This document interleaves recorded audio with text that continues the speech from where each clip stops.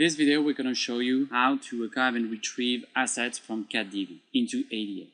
Selecting an asset to CatDV and changing its status to archive to ADA, let's publish the catalog changes, will be detected by the CatDV worker as a status change, and it's going to create an XML export from the asset, exporting the, the asset, path, name, and all the metadata.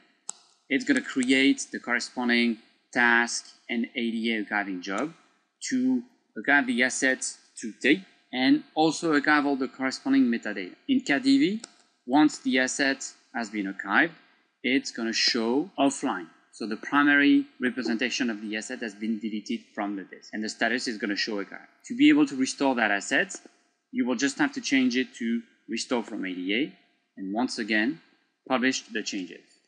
This field will once again create, be detected by the worker, and the work is going to launch a specific ADA task to retrieve the asset.